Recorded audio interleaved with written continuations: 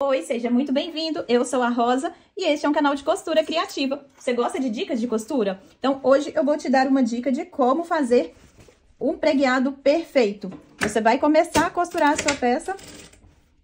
E aqui eu vou utilizar como base essa tesourinha. Que ó, vou colocar ela aqui e ela vai vir deslizando. Dessa forma. Chegando aqui no final, coloco e o tecido vai se deslizar nela e ela vai encostar aqui no último babado. E assim vamos fazendo de uma forma que ele vai sair perfeito. Você já fez algum assim na sua casa?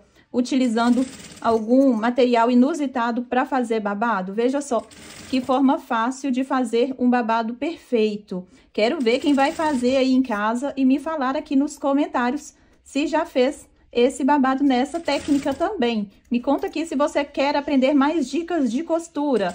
Me conta se você gosta desse, dessa nossa série de dicas de costura. Tem uma playlist completa aqui no canal, que é só você ir na playlist Dicas e Truques de Costura, onde eu te dou várias dicas e truques. Se você ainda não está inscrito aqui no canal, eu te convido a se inscrever e participar de todas as aulas, que aqui tem aula nova diariamente às 18 horas e 18 minutos. E você não pode ficar de fora de nenhuma aula dessas. Ó, que lindo, perfeito que ficou.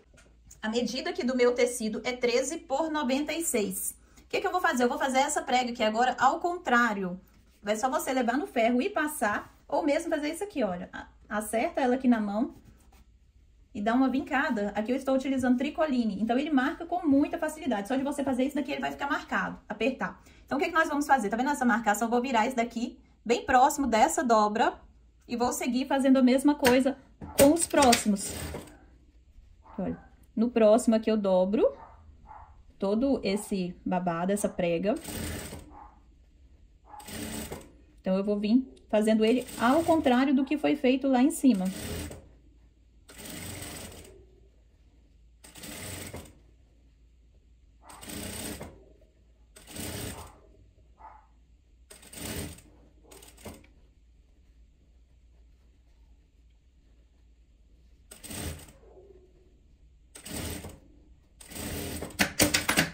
Ficou dessa forma. Eu vou levar no ferro e passar para assentar todos eles. Vou utilizar o nylon acoplado para estruturar a minha peça. Já levei lá no ferro e já passei. Ficou dessa forma.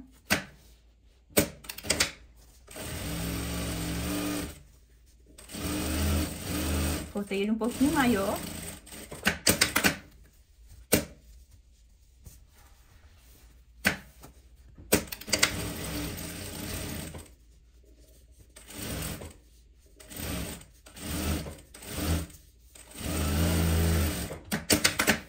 Agora, eu recorto esse excesso.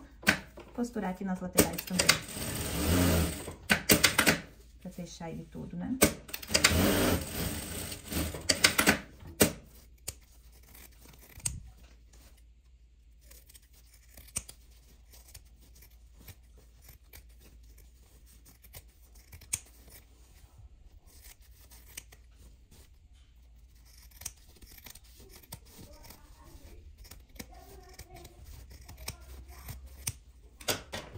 A medida final aqui do meu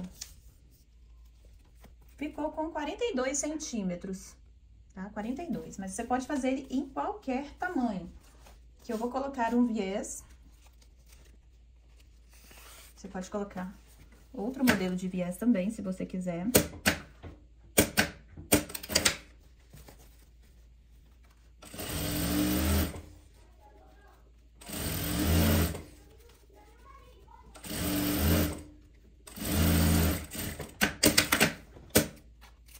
Vou utilizar o zíper em metro.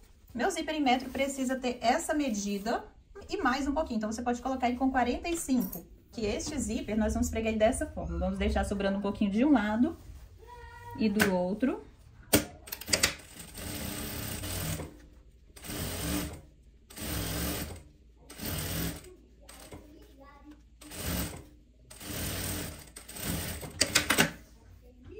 Aqui, nós vamos destacar um lado. Então, este zíper dá pra eu fazer duas peças iguais a essa. Vou virar, encontrar, desse jeitinho aqui. Posso colocar até um alfinete pra ele ser montado do jeito certinho. Né? Você encontra zíper em metro aqui na lojinha do canal da Rosa, assim como nylon acoplado também, manta resinada, tecido sintético, alças.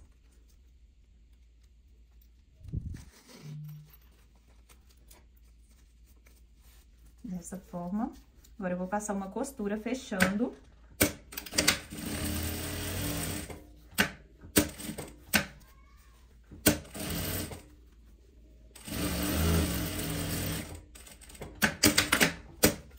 Corto o excesso, refilo para ficar bem certinho. Onde está sobrando aqui, eu acerto também.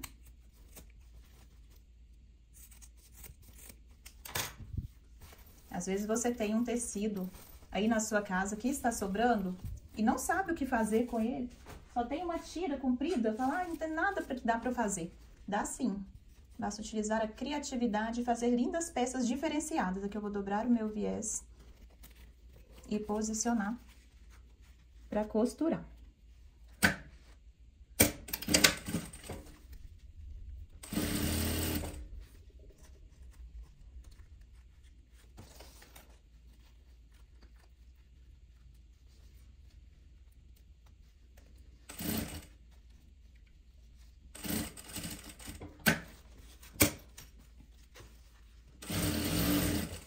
Eu corto sobrando um pouquinho também para dobrar para dentro, para fazer o nosso acabamento.